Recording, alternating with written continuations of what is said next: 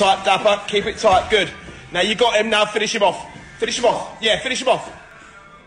What are you doing? I said finish him off, not suck him off.